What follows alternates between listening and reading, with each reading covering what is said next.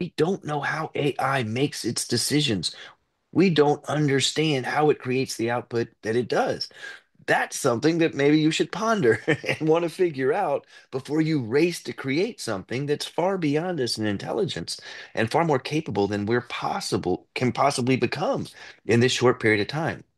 So that fear, and their companies are paying attention to it in various ways. Um, I've discussed this in the past, but many companies have gutted their ethics teams. You know, Meta, OpenAI.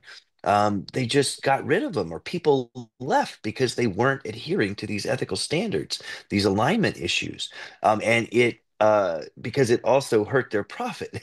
If you're following ethics and paying attention to it, in their view, then you're missing out on making more money because you're not rushing to get stuff out to the market sooner.